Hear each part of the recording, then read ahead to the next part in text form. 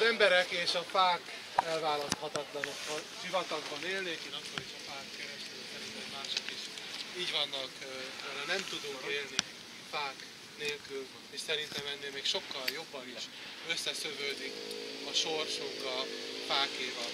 Szeretnék elénekelni egy verset, Ratkó József Ember Fa című versét, és lássátok, hogy még közelebb tudtok jönni, hogy halljátok a Tessék hangosan. szöveget. Nem lehet. Tessék hangosan, jó?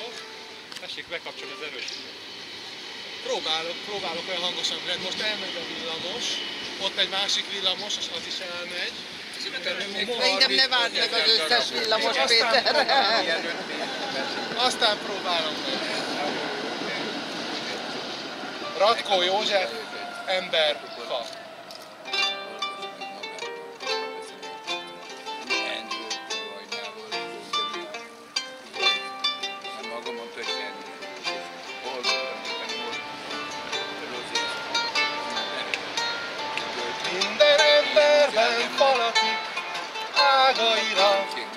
Fészkel a és dalol, mint valami madár, míg le nem üti a halál.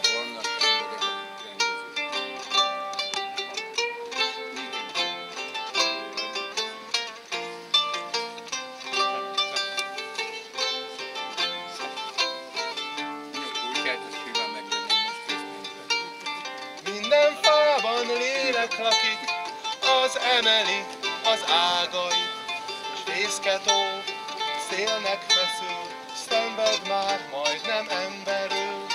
Fészketó szélnek feszül, szenved már majdnem emberül.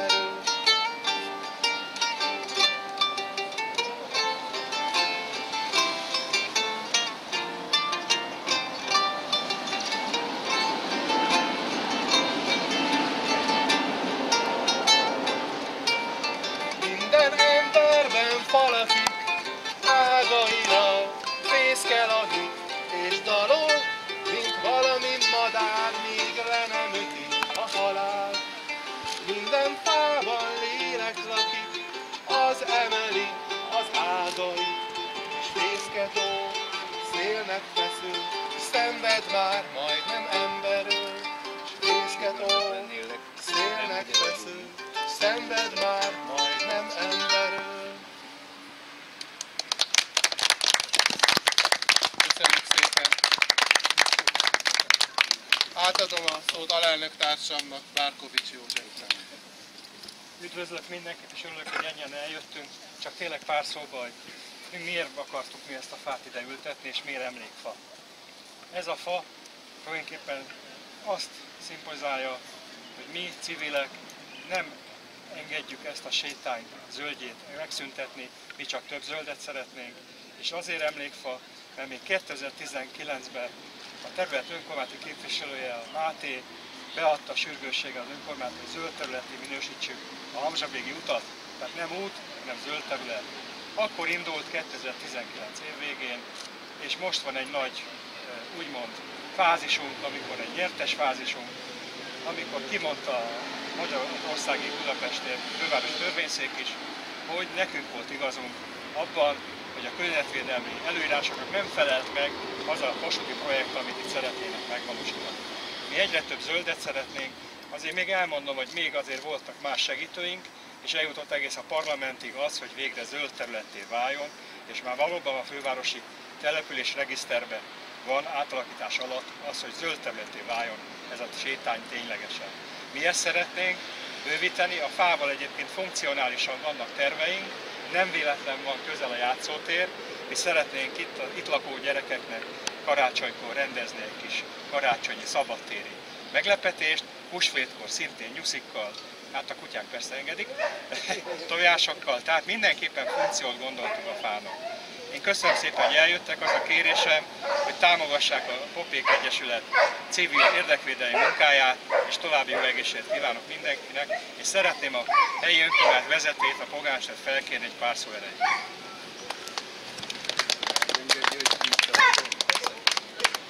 Köszönöm szépen, én is tisztelettel köszöntöm nem csak önöket, hanem szimbolikusan azokat is, akik képviselik azt, hogy valóban ez legyen a domináns, amit most baj.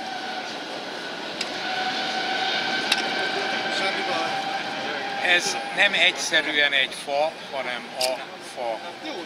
Ugye egy, és szimbolizálja azt az ezret, amit meg kell menteni annak érdekében, hogy ennek a területnek az a meghitt belsősége, az megmaradhasson. Borzasztóan nehéz ez a küzdelem, nagyon nehéz. Rengeteg olyan akadályozó dolog van, amit le kell tudnunk küzdeni. A problémák és az akadályok azért vannak, hogy leküzdjük őket. Hála jó Istennek, hogy már a kormánypárti média is fölveti, sőt Palkovics miniszter már jóvá is hagyta a vénullás bizonyos részének a nyomvonalát. Nagyon jó, oda kell fordítani a figyelmet, és oda kell koncentrálni a forrásokat. Ezt a területet pedig békén kell hagyni. Már csak azért is, hadd mondjam el önöknek, ami teljesen logikus, és ezt mindenki nagyon jól tudja. Jó, megcsinálják ezt, beleülnek 500 milliárd forintot. Ez egy végleges megoldás lenne? Nem, hát előbb-utóbb úgy is ki kell vinni innen a teheráru forgalmat, mert azt tudják, hogy ez a teheráru forgalom a Balkán irányába és Kelet-Európába megy. Most kevésbé megy Kelet-Európába, mert ott valami zűrzavar van a keleti határainknál. De ez egy óriási forgalmat lebonyolító rész. Ez nyilvánvalóan véges, ezt nem lehet a végtelenségig. Tehát, hogyha most megcsinálják ezt a beruházást, akkor, ahogy mondtam, 500-600 milliárd forintot kidobnak az ablakon. Ennyire nem vagyunk gazdagok. Bízzák ránk, hogy ezt az 500-600 milliárdot mire fordítsuk, fogadjuk egyébként, hogy sokkal hasznosabban el tudjuk majd költeni. Úgyhogy én azt kívánom önöknek, hogy az az öröm, ami most mindannyiunkat eltölt, hogy ez szimbolikusan ezt a fát ide elültették, hogy ez megmaradjon, és a későbbiekben tovább növekedjen. Nagyon jó egészséget kívánok mindenkinek, lányok, fiúk és kitartást, mert szükség lesz rá. Köszönjük szépen. Nagyon köszönjük a Budapest Egyesületek, egy fiatal egyesület. Mennyi idős? Egy, hát másfél évesek vagyunk, és csak egy pár szót szólhatunk mi is. Igen. Mi másfél évvel ezelőtt köszönjük a meghívást, és köszönjük, hogy ma itt lehetünk, és segítségetekre lehetünk.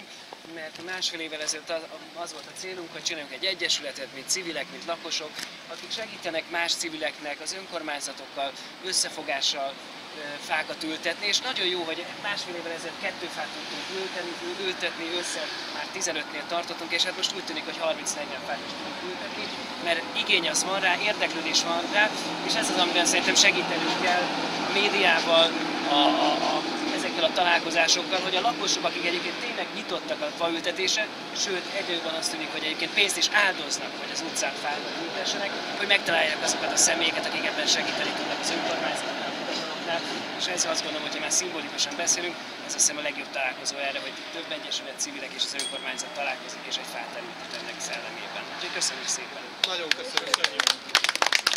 Hajrá Budapest! Köszönjük is! És ígérjük, hogy ápolni fogjuk, és nem engedjük kiszáradni. Sajnos kiderült, volt felmérés faszakértők által, nagyon sok elkorhat és nagyon sok elszáradt fa van a sétányon, aminek egyik oka, hogy nagyon kevés vizet kaptak, főleg az elmúlt időben.